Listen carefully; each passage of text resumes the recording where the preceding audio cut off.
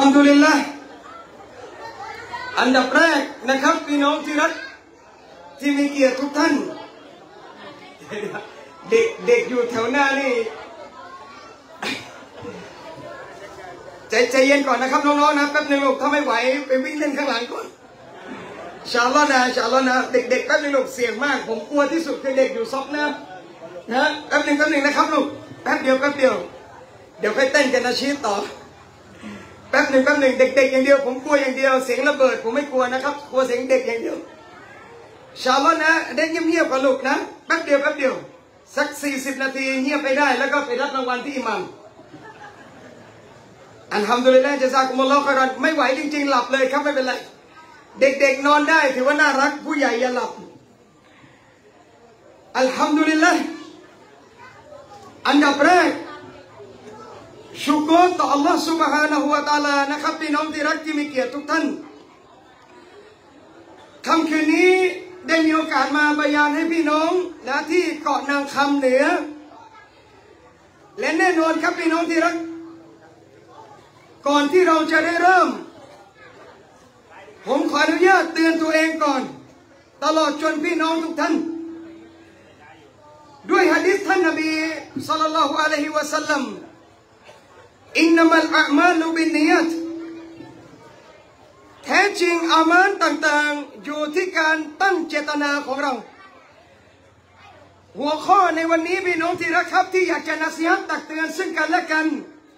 ส่วนใหญ่ในวันนี้ที่มาฟังเนี่ย คนมีครอบครัวด้วย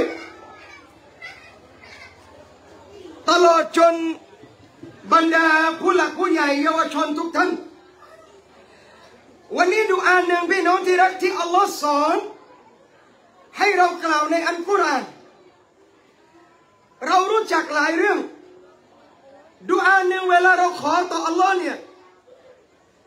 รับบานาอาตินาฟิดดุนยาฮัสนะวะฟิลอาคิรติฮัสนะเราขอดูอารับบานาต่ออัลลอฮ์ตาลาเนี่ยแม้กระทั่งตอนไปตะวัฟ จริงๆ ربنا آتنا في الدنيا حسنة وفي الآخرة حسنة มันครอบคลุมหมดแล้วพี่น้องในบารอกัตความดีทั้งหมดในโลก และโลกหน้า แต่มีอีกดุอาหนึ่งอัลลอฮ์ได้สอนให้บ่าวของอัลลอฮ์ดูอากับพระองค์ว่ารับบนาฮับบลนามินอัซวาจินาวะดุริยาตินากุรรตะอายุีกหนึ่งดูอาที่เป็นการเจาะจงเฉพาะอัลลอฮ์สอนให้บ่าวขออัลอฮ์ทั้งหมด ขอดูอาให้ได้ลูกที่สอนเลยขอดูอาให้ได้ลูกหลานที่เป็นที่เย็นตาเย็นใจแก่พ่อแม่ทำไมต้องขอพี่น้องครับ วันนี้ถ้าอัลลอฮ์ให้ดุนยาสิ่งต่าง ๆ ความดีแก่เราเนี่ย เรามีเงินเรามีบ้าน เรามีทรัพย์สินเรามีมรดก แต่ลูกเราไม่ละหมาดลูกเราไม่ฮิจาบลูกเราไม่เอาศาสนา คนเป็นพ่อแม่ลองตอบสิครับว่า วันนี้หนึ่งพันล้านบาทกับลูกไม่ละหมาดชีวิตท่านสุขหรือยังดังนั้นดูอาที่อัลลอฮ์สอนเนี่ย เพื่อให้เราขอจะได้ลูกเราจะได้สอนเลย ลูกจะได้อยู่ในหลักการศาสนาพี่น้องครับ เพราะอะไร ท่านนบีเคยบอกเอาไว้ก่อนนบีจะวะฟาดก่อนนบีจะเสียชีวิต บอกให้อุมมัตของท่านรู้ว่า ในอนาคตข้างหน้าไม่ยาอิชมินคุมบะดีใครมีชีวิตต่อ หลังจากท่านนบีมุฮัมมัด เขาจะเจอกับความขัดแย้งอย่างมากมาย ยิ่งใกล้วันกิยามะยิ่งใกล้อาคริสมานยิ่งใกล้วันที่อัลลอฮ์จะเก็บดุนยาความเลวร้ายจะเกิดมากขึ้นเรื่อยๆความเลวร้ายมัสยิดจะเข้ามาถึงในมัสยิดวันนี้จนกระทั่ง คนมุสลิมจะไม่รู้อะไรเลยเกี่ยวกับเรื่องอิสลาม นบีเตือนเราเอาไว้เพื่ออะไรครับพี่น้อง เพื่อให้เราได้เตรียมตัว แล้วป้องกันลูกหลานของเราให้ได้ ป้องกันลูกหลานของเรา อย่าให้หลุดไปกับวงการมัสยิดให้ได้ แล้ววันนี้เราจะป้องกันลูกหลานเราได้ยังไงครับพี่น้องหนทางเดียวที่พ่อแม่ทำได้ อย่างเดียวที่เราทำได้ และเป็นการปกป้องลูกหลานเราที่เยี่ยมที่สุด วันนี้พ่อแม่ต้องมีศาสนาให้ลูก สิ่งที่เรากลัวที่สุด ไม่ใช่เรื่องนาฟักก็ดุนยาพี่น้องที่รักดุนยาไม่ต้องกลัวอดอัลลอฮ์สัญญานาโนนารซุกุคุมเราจะให้ริสกีแก่พวกเจ้า และตลอดจนลูกๆของพวกเจ้า อิสลามจึงไม่มีลูกมากยากจน เสียงดังไปไหม ได้นะมานะ โอเคพันนันละมาเอ้ยต้องอย่างนั้น ถ้าเสียงเบาผมก็หยุดพูดแค่นั้นเอง ไม่มีสโล นะบอกอาจารย์บักบรรยายเบาๆบอกไม่มี ถ้าเบามึงต้องฟังคนอื่น แค่นั้นเองพี่น้องง่ายๆ ชัดๆ สบายๆ เรื่อยๆ เสียงดังมาอัพมาอัพลงหน้าเลย ผมบอกว่า ริสกีดุนยาไม่ต้องกลัวอัลลอฮ์ให้ ไม่มีมนุษย์คนไหนอดตายตราบใดถ้ายังหายใจได้ แต่วันนี้สิ่งที่เราต้องให้ลูกพี่น้องครับ นั่นคือเรื่องราวของศาสนา นั่นคือเรื่องราวของอีมาน นั่นคือเรื่องราวของอามัน นั่นคือเรื่องราวของอิบาดัตที่พ่อแม่จะต้องให้สิ่งนี้กับลูก เพราะอะไรพี่น้อง วันกิยามะคุลุคุมรออินวะคุลุคุมมัสอูลอันรออียติทุกคนมีภาระหน้าที่รับผิดชอบพ่อมีหน้าที่หาริสกีเข้าบ้านแม่มีหน้าที่ดูแลในบ้าน แต่วันกิยามะเรื่องศาสนาทั้งแม่และพ่อจะถูกสอบหน้าที่อัลลอฮ์ในวันกิยามะ แม่ก็ไม่รอดถ้าวันนี้ลูกไม่ละหมาดคนแรกโดนถามคือพ่อรองลงมาคือแม่ พี่น้องพร้อมตอบอัลลอฮ์หรือยังในวันกิยามะทำไมลูกไม่ละหมาดทำไมลูกไม่มีศาสนาทำไมลูกไม่สนใจเรื่องราวอิสลาม พ่อแม่ต้องเตรียมคำตอบบอกอัลลอฮ์ในวันกิยามะ นี่คือสิ่งที่เรากลัวพี่น้องครับ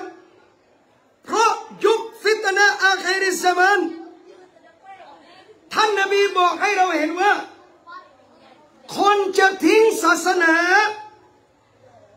เหมือนกับเรายิงธนูแล้วปล่อยลูกธนูออกไปเลย จนกระทั่งอัสบาฮารอจุลุนมุมินันคนคนหนึ่งตอนเช้าเป็นมุสลิม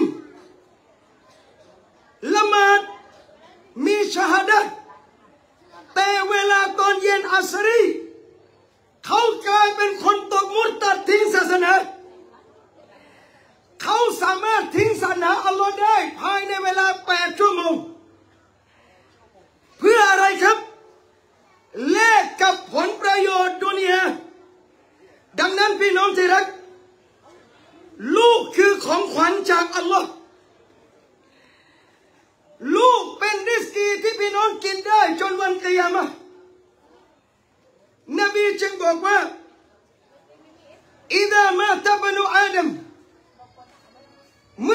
เสียชีวิต อินก็ตอาอามาลุหูอามานของเขาจะถูกตัดขาดทั้งสิ้นหนึ่งในนั้นที่เขาจะได้ลูกโซเลวันนี้พี่น้องจะทำยังไงครับ ลูกเราจะโซเลหรือไม่ ลูกจะมีอีมานหรือไม่ สำคัญที่สุดวันนี้พี่น้องที่รักฟาอาบาวา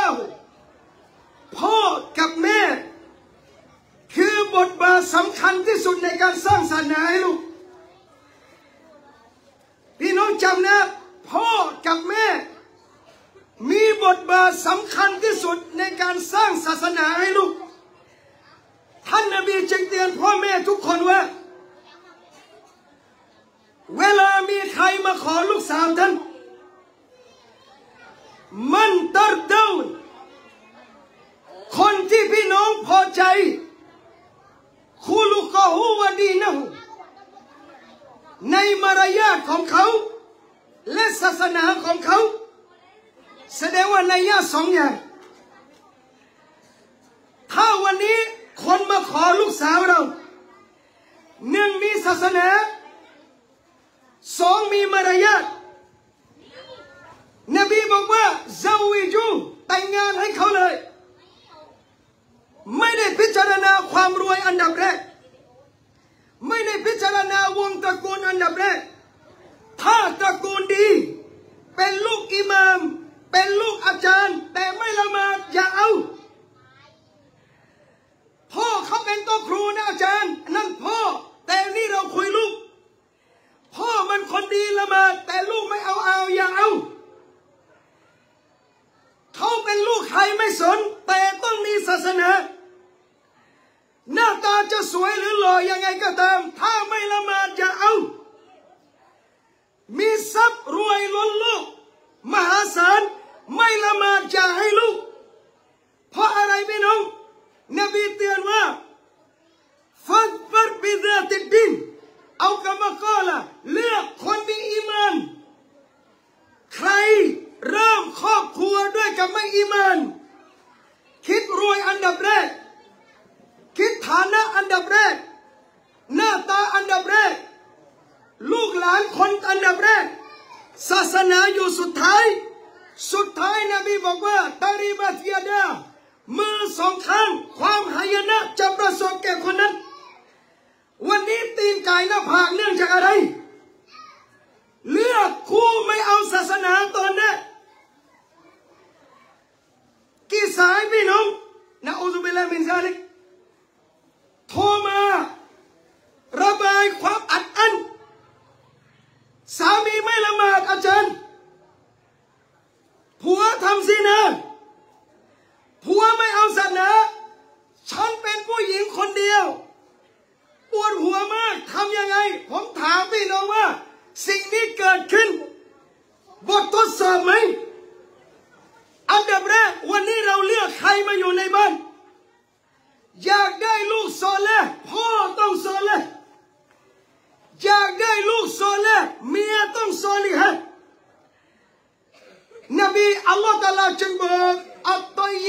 ตลุตตยิบินหญิงที่ดีต้องคู่กับชายที่ดีพ่อแม่หลายคนนะครับพี่น้องที่รักมาบอกเรา อยากให้ลูกมีผัวดีๆทำยังไงอาจารย์บอกอาจารย์ก็ไม่รู้เหมือนกัน ผมก็ไม่รู้เหมือนกันเอาง่ายๆนะมะมะอยากขับเบนซ์แต่มะมียี่สิบบาทมะขึ้นสองแถวนะครับ มะอยากให้ลูกได้คนละมาถามลูกมาว่าลูกมาละมาดได้ไหมลูกมาไม่ละมาดห้าเวลาใครจะเอา ต่อให้มีรวยเป็นพันล้าน แต่คนมีศาสนาไม่เอาคนไม่ละมาดเพราะอะไรครับ เราไม่ได้แต่งงานแค่หลับนอน แต่เราจะสร้างลูกหลานที่ซอลแลต่อไป ดังนั้นพี่น้องที่รัก วันนี้เรามีลูก สิ่งแรก ที่เราจะต้องให้ลูกอาวลุดดีนมาริฟตุลลอฮ์สิ่งแรกในศาสนาเลย ถ้าอยากให้ลูกดี สอนมันให้รู้จักอัลลอฮ์รู้จักอัลลอฮ์ต้องแยก ไม่ใช่รู้จักอัลลอฮ์หน้าตาเป็นยังไงนั่นไม่ใช่เรื่องของมึงไม่เกี่ยว มึงไม่ต้องยุ่งเลยไลซะกะมิทลีฮิชัยลัมยะกุลละหูกุฟวันอาฮัดอัลลอฮ์ไม่เหมือนมักลุกไม่ต้องไปดูว่าซาสิฟัตอัลลอฮ์ยังไงวัลลอฮุอาลัมแต่รู้จักอัลลอฮ์เชื่อมันอีมาน ปฏิบัติตามสุราอย่าทิ้งกลัวอัลลอฮ์นี่คือรู้จัก รู้จักเพื่อให้กลัว คนรู้จักอัลลอฮ์จะเป็นคนตักวาคนรู้จักอัลลอฮ์จะเป็นคนยำเกรงคนรู้จักอัลลอฮ์จะไม่กล้าทำชั่ว พี่น้องมีอุลามะโดนถาม ฉันมีลูกสาวจะแต่งงานให้ใครดีท่าน อุลามะบอกว่า ท่านจงเลือกผู้ชายที่มีศาสนาให้ลูก เพราะว่าถ้าวันใดเขาโกรธลูก เขาจะไม่ทำร้ายลูกท่าน มาชาอัลลอฮ์คนอีมานอัมซิกูฮุนนบินมารูฟอยู่กับภรรยาด้วยดี แต่อยู่ไปแล้วมันไปไม่ได้ เอาสัริโอฮุนนบิเอซันปล่อยนางไปด้วยดี ไม่มีเตะเมีย ไม่มีต่อยเมีย ไม่มีด่าเมีย ผู้ชายด่าเมีย นั่นแสดงออกถึงอีมานที่อ่อนแอไม่ต้องถึงขนาดตบหรอกพี่น้อง ใส่คำหยาบด่าคำหยาบกับภรรยา นั่นคือผู้ชายที่อ่อนแอเรื่องอีมานดังนั้นพี่น้อง สิ่งแรกต้องบอกกับลูก ให้มันรู้จักอัลลอฮ์ให้ได้ นบีสอนสหบัตสหบัตอายุสิบกว่าปีอิมนุอับบาสรดิยัลลอฮุอันนุมะนบีบอกเด็กคนนี้ว่าاحفظ الله يحفظكเจ้าจงทำตามในสิ่งที่อัลลอฮ์ใช้ และอัลลอฮ์จะปกป้องเจ้า นี่สิ่งแรกเลยพี่น้องครับ วันนี้ที่เด็กติดยาเนี่ยนะอัลลอฮฺบิลลามินซาลิกวันนี้ที่คนไม่ละหมาดวันนี้ที่มุสลิมนั่งนินทากันเนี่ยขอสักคนในเกาะนางคำไม่รู้หรอกครับว่าที่ทำอยู่มันบาปนินทามะไม่รู้หรอว่าบาปไม่ละหมาดท่านไม่รู้หรอว่าบาปติดยาเสพติดท่านไม่รู้หรอว่าบาป ทั้งหมดรู้หมดว่าบาปถามพี่น้องคำเดียวว่าทำไมเราทำอะทำไมเราทำได้คำตอบเดียวครับ เมื่อความกลัวอัลลอฮ์เรามีน้อย ความตักวาเรามีน้อย เราจะสามารถทำได้เลยในสิ่งที่อัลลอฮ์ห้ามท่านนบีจึงสอนสหบัตอันดับแรกอิตตะกุลลอฮ์ จงกลัวอัลลอฮ์ยำเกรงอัลลอฮ์กลัวอัลลอฮ์คือประตูสู่ความดีทั้งหมด พี่น้องว่าจริงหรือไม่วันนี้เด็กติดยากี่เปอร์เซ็นต์ในประเทศ แต่ละคนสาเหตุไม่เหมือนกัน บางคนอยากลอง บางคนตามเพื่อน บางคนไอ้นั่น บางคนไอ้นี่ แต่สิ่งหนึ่งพี่น้องที่รัก วันใดที่เขาเลิก ทั้งหมดเลิกด้วยเหตุผลเดียวกันมุสลิม ถามว่ามึงเลิกติดยาทำไม เลิกขายยาทำไมคำตอบเดียวพี่น้อง ผมเลิกเพื่ออัลลอฮ์เมื่อใดหัวใจทำเพื่ออัลลอฮ์เมื่อใดหัวใจทำเพราะกลัวอัลลอฮ์ไม่ใช่แค่เลิกยาพวกเขาทั้งลูกเราก็ยกได้ นี่คือจุด วันนี้ลูกเรา ต้องกลัวอัลลอฮ์ให้ได้ เด็กเด็กใจเย็นลูกแป๊บหนึ่งแป๊บหนึ่งผมเสียวเดี๋ยวอันนี้ผู้ผู้หญิงเด็กมันจะไม่ตะวัดจุขออนุญาตนั่งหลังได้ไหมลูก ได้ไหมครับถ้านั่งต้องเงียบสุดๆเลยนะนาชีพเด็กอยู่หน้าเนี่ยโอเค เวลาฟังบรรยายนี่ไม่เหมาะ เพราะเด็กตะวัดจุจะไม่มีนะ สมาธิจะพัง นะครับ เพราะเวลาผมบรรยายผมจะไม่กินน้ำนะ และคนฟังผมก็ไม่ให้กินด้วย เพราะมันจะได้ตะวัดจุในการฟังอะผมผมถือที่สุดคือการตั้งใจ จึงไม่ได้โกรธเด็กนะ แต่ถ้าไม่ไหวลูกเล่นข้างหลังลูกนะเอาไปเล่นได้เลยไม่เป็นไรชาลลอฮ์นะ ถ้าอยู่ต้องเงียบสามสิบนาทีไม่ตายเลยอินชาลออินชาลอนะ อยู่ได้นะ โอเค ปิดปากให้สนิทเลยนะ ขอมาอัพนะครับ ผมพูดตรงๆไปนิดหนึ่งเดี๋ยวไม่ค่อยอ้อมอ้อมไปมันเครียดเปล่าๆพูดตรงสบายใจดีนะถ้านายกเศรษฐานายกอะมันเปลี่ยนแล้วนี่วะยิ่งรักอะชื่ออะไรเออนายกคนใหม่มานั่งตรงนี้เนี่ยถ้าคุยมากผมก็ให้เงียบ ไม่ได้ ผมพยายามศาสนาอยู่ นายกจะคุยเยอะผมก็ไม่คุย ถ้าคุยนายกไปคุยที่อื่นนะเรื่องศาสนาไม่ได้พี่น้องฝากน้องๆนะ ไม่ได้โกรธเด็กนะ แต่บางอย่างสนามเขาไม่ใช่ของเขาชาวล้นนะครับ อ่านทำได้แล้วไปต่อ ไม่งั้นจะเสียตะวันจุผู้ใหญ่ด้วยอันทำดูเลยละนะอาจารย์พับพูดตรงๆแบบนี้ไม่ต้องเสียเรียสนะผมจึงบอกว่าสิ่งแรกคือการตั้งใจและรู้จักอัลลอฮ์ให้ได้สองอามานที่จะทำให้ลูกเราสู้กับดุนยานี้ได้ หลักที่สุดมีอามานเดียว นั่นคือการละหมาด วันนี้พี่น้องเชื่อหรือไม่การละหมาดเป็นเรื่องที่เราเรียนตั้งแต่ฟัดดูอินตอนเล็กๆ เป็นเรื่องที่อยู่กับประชาชาติอยู่กับอิสลามมาตั้งแต่เล็ก แต่วันนี้ในโมแกมอามานที่คนทิ้งมากๆ อามานที่คนไม่เคยทำคือเรื่องละหมาด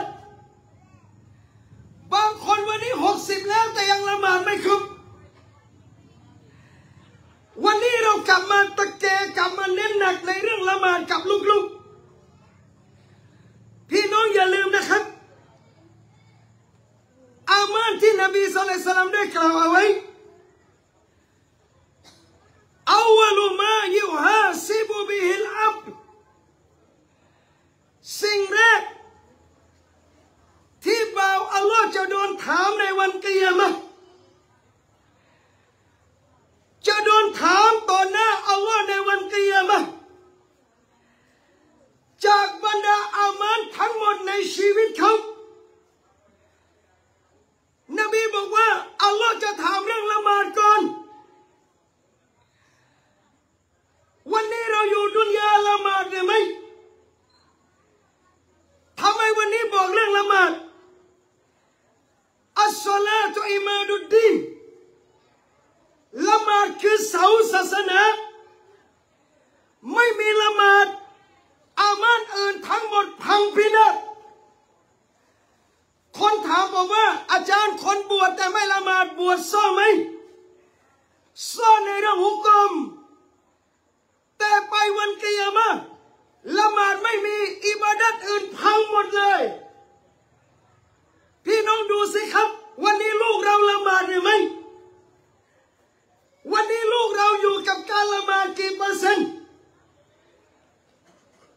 ละหมาดจึงเป็นรูปคนที่สองรองจากการมีชาดะห์แล้ววันนี้ลูกจะติดละหมาดได้ยังไง นบีเตือน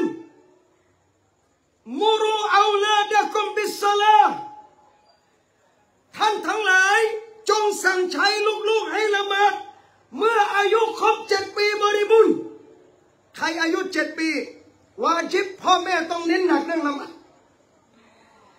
ลูกชายเจ็ดปีต้องไปสุรา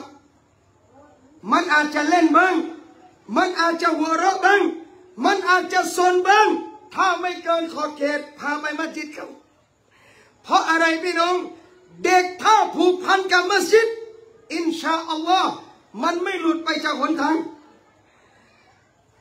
เจ็ดขวบนบีบอกต้องสอนลูกให้ละหมาด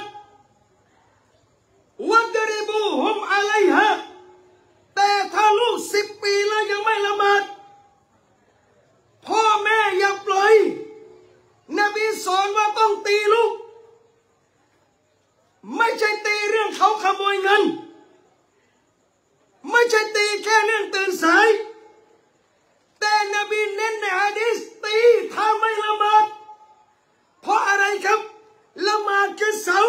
ถ้าเด็กสิบขวบทิ้งละหมาดสิบห้าไม่เหลือพี่น้อง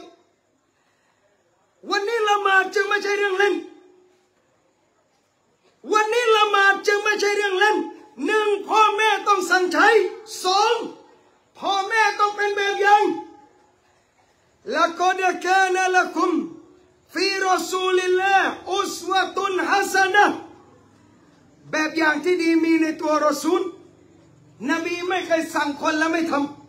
ำท่านนบีสอนใครนบีทำด้วยอย่างนั้น วันนี้ปัญหาที่เด็กไม่ละหมาดหนึ่ง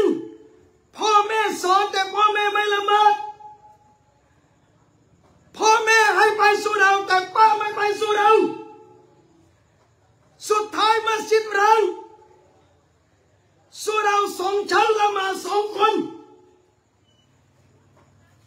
สู่เราสิบล้านละหมาดห้าคนสุบฮีแทบไม่มีใครเลยมักเร็บทำไมรับเด็กเรียนกีราตีผู้ใหญ่เหลือ สามคน พี่น้องลองตอบสิครับ ยุคนี้เราละหมาดแค่สามคน อีกยี่สิบปีข้างหน้าท่านตายเหลือกี่คนในมัสยิดเหลือกี่คนในมัสยิดแล้ววันนี้ละหมาดสำคัญขนาดไหนไซดีนาอุมัดรดิยัลลอฮุอันอุมัดยืนละหมาด บูลูลูแทงอุมัดในละหมาดอุมัดล้มคว่ำเลือดอาบเลยพี่น้องที่รักสหาบัดจะมาช่วย ท่านอุมัดสั่งยังไง กลับไปละหมาด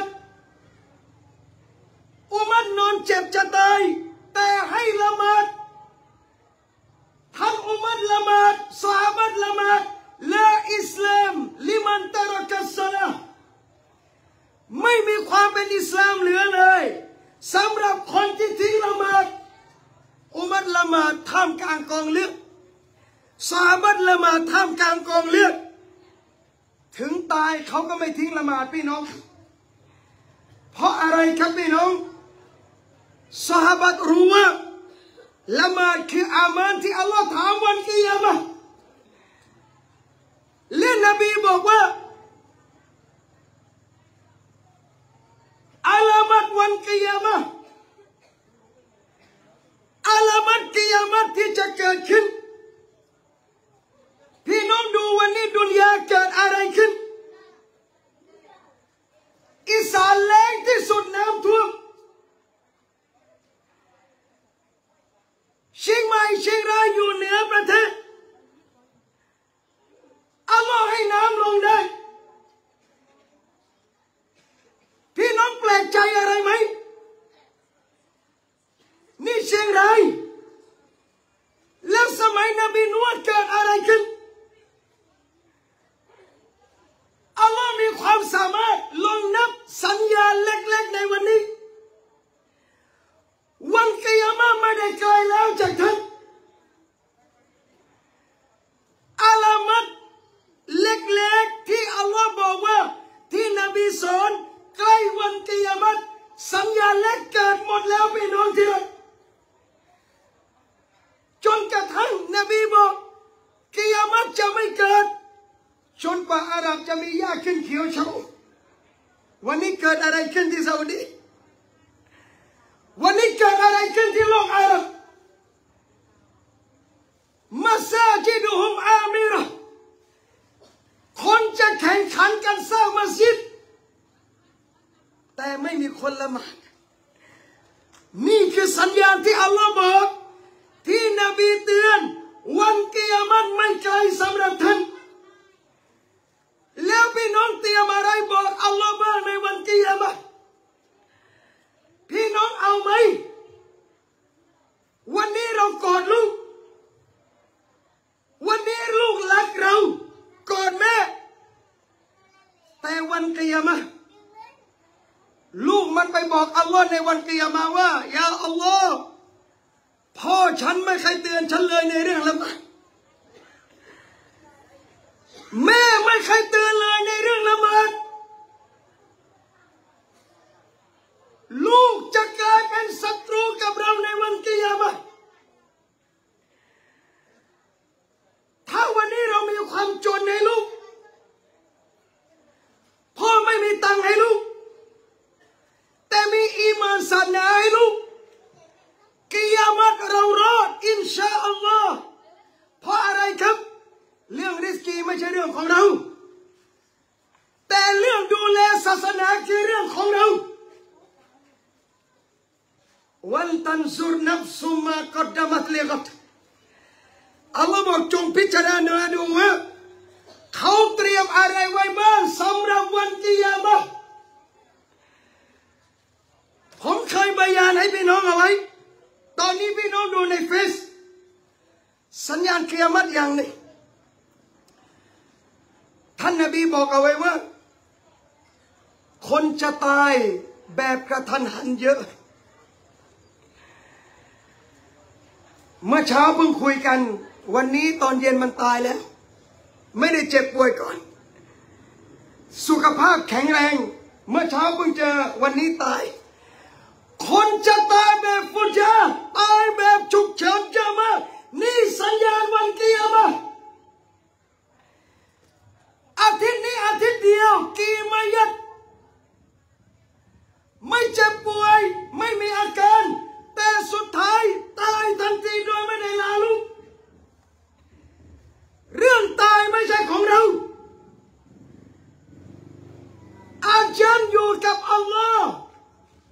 ไม่มีใครรู้วันตาย แต่อย่างเดียว เตรียมอามานรอวันตายให้ได้ พี่น้องที่รักครับ ลักษณะการตายอย่างหนึ่ง ทั้งหมดเราต้องเจอพ่อ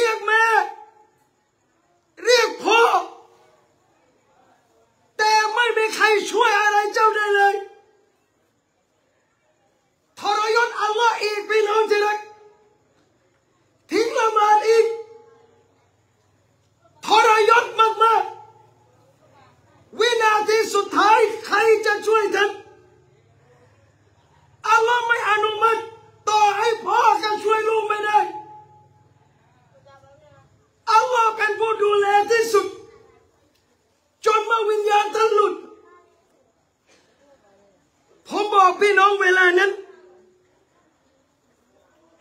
ถ้าชาวนรก ถ้าคนชั่ว ถ้าวันนั้นเขาบริจาคได้ทั้งหมดทองคำเท่ากับภูเขา และถ้าเขามีทองคำทั้งหมดเท่ากับแผ่นดิน ทุกคนพร้อมฟีสบิลิและให้อัลลอฮ์หมดเลยในการทำบุญแต่วันนั้นอัลลอฮ์จะไม่รับอะไรเราเลยแม้แต่อย่างเดียว เมื่อควา มตายมาถึง นั่นคือวันแห่งความจริงพี่น้องที่รักดุนยาคือการหลอกล่ออัลลอฮ์จึงเตือน فلا تغرنكم الحياة الدنيا จงอย่าให้ชีวิตในดุนยาหลอกลวงพวกเจ้า อย่าหลงกับดุนยา เตรียมอามัน วินาทีสุดท้าย ก่อนกลับไปหาอัลลอฮ์ละหมาดให้ได้ต่ออัดให้ได้ อิสติฟารให้ได้ ความตายไม่รู้ แต่รู้แน่ๆคือต้องตาย แล้วเมื่อวันตายมาพี่น้องจะรู้ด้วยสัจธรรมเลยว่า ที่พี่น้องพยายามทั้งหมดในดุนยา ท่านเอาอะไรไม่ได้เลยแม้แต่อย่างเดียวพี่ น้องบางคนน่าเคสเราได้ฟังจากพี่น้อง เอามาคิด เรารักลูกที่สุด ลูกชื่ออับดุลลาห์อัลลอฮ์แค่เอาลิ้นคืนอย่างเดียว เรียกชื่อลูกไม่ได้ตลอดชีวิต เอาเนี่ยหมัดคืนนิดเดียวพี่น้องตัดลิ้นออกแค่นั้น เขาไม่สามารถจะเอ่ยชื่อลูกที่รักของเขาได้เลย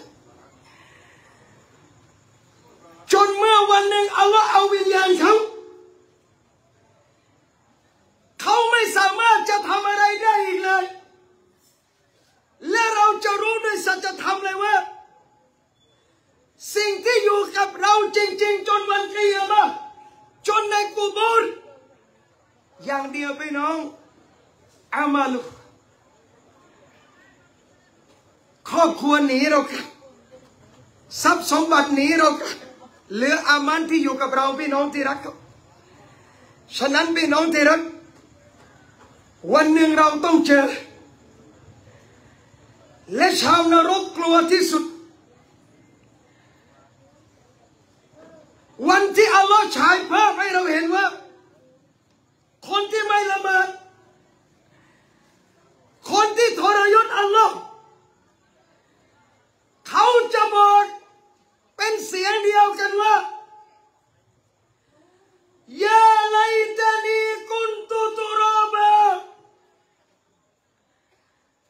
ยาไลตานีโอ้ตัวของฉันถ้าวันนี้ฉันกลายเป็นดินได้ ฉันจะกลายเป็นดินเลยยาอัลลอฮ์วันที่เห็นอาซาบจฮันนัมวันที่เห็นอาซาบกุบร วันที่เห็นไฟนรก วันที่พ่อช่วยลูกไม่ได้ และวันที่แม่ช่วยลูกไม่ได้อิลลามันอัตลลอฮะบิกลบินสลีมนอกจากคนที่มาหาอัลลอฮ์ด้วยหัวใจบริสุทธิ์เท่านั้น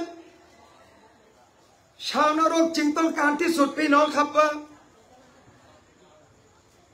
ฟัรจีนา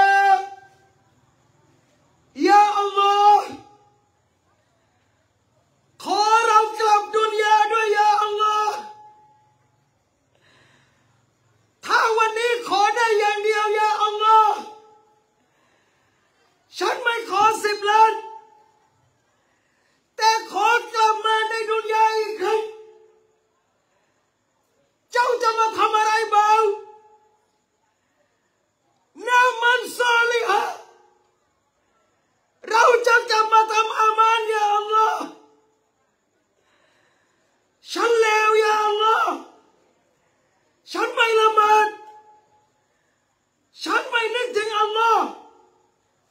ขอกลับดุนยายาอัลลอฮ์พี่น้องร้อง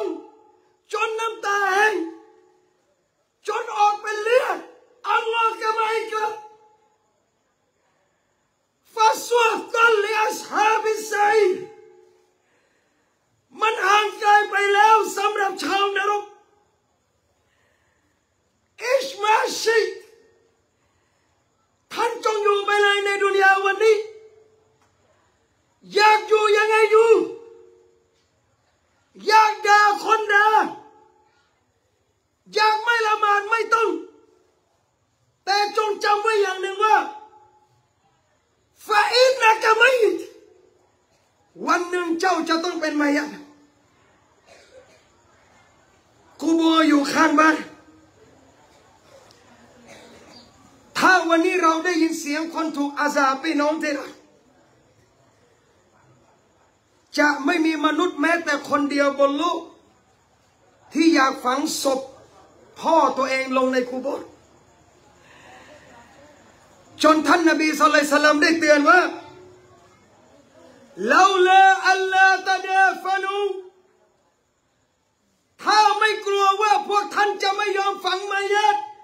ละดะอัลตุลลอฮ์อยุสมิอะกุมมินอาดาบิลกับนบีบอกฉันจะดูอาต่ออัลลอฮ์ขอให้พวกท่านได้ยินเสียงอาซาบกุบอรถ้าได้ยินเสียงอาซาบกุบอร จะไม่มีมนุษย์แม้แต่คนเดียวยืนบนดินได้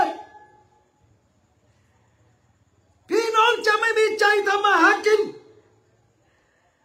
จะไม่อยากอยู่บนดุนยาแต่อัลลอฮ์ปิดอิลลัสกลัยพี่น้องมนุษย์และยินจะไม่ได้ยินอาซาบกุบแต่เราต้องเจอกับอัลัมบารซักแน่นอนฉะนั้นพี่น้องที่รักครับ ในท้ายคืนนี้ก่อนที่ผมจะสรุปให้พี่น้องฟังเนี่ย เราเหลืออีกไม่นานหรอกพี่น้องดุนยาเชื่อผมอินชาอัลลอฮ์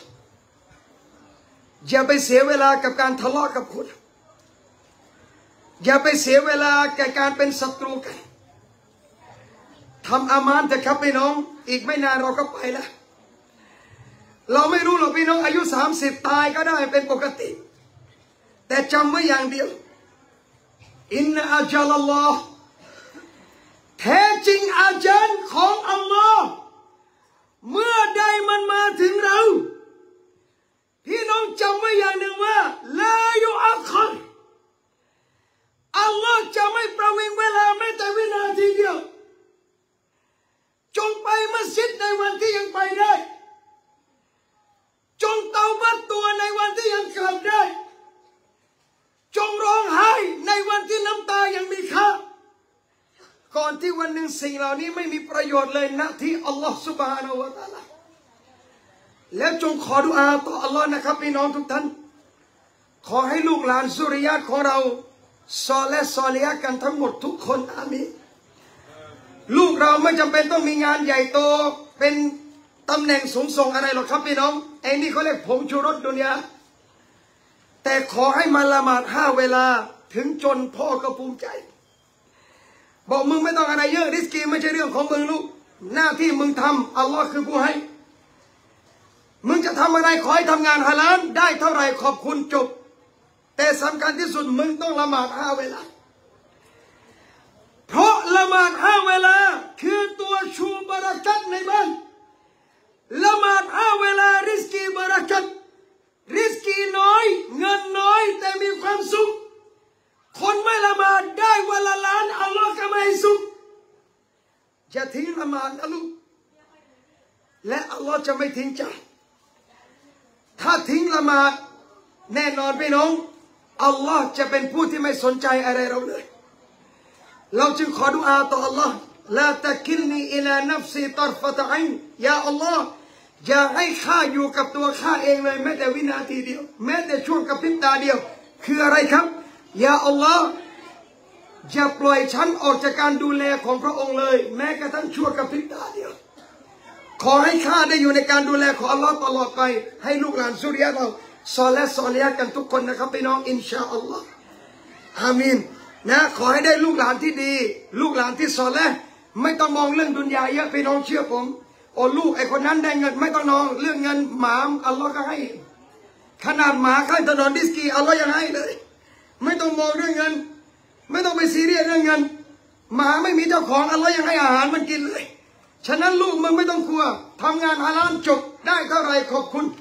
แต่สำคัญที่สุดอย่าทิ้งละหมาด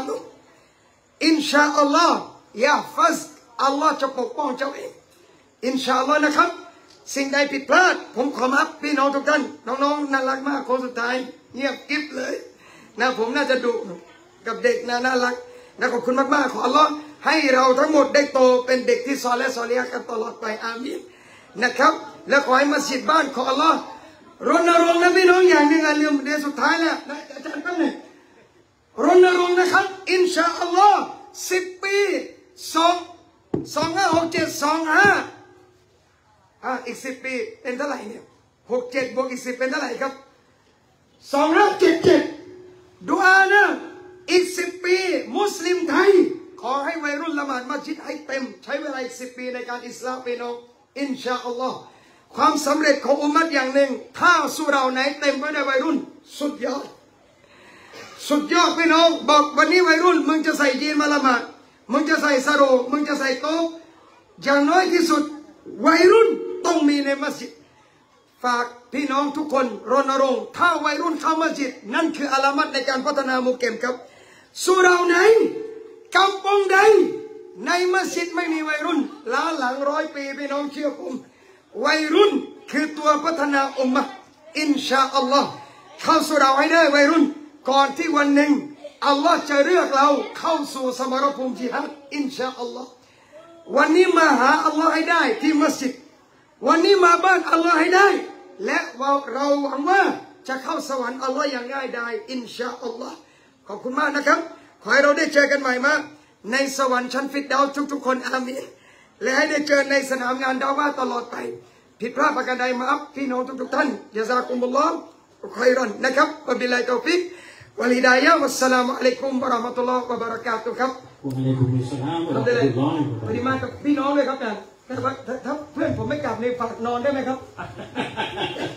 ได้อาจารย์ได้อาจารย์ขอบคุณมากครับขอบคุณมากอัสสลามุอะลัยกุมขอบคุณอาจารย์จะจากกันเลยครับดูระหว่างมากๆเดี๋ยวนะครับที่น่ารักอยู่ตลอดเวลานะครับ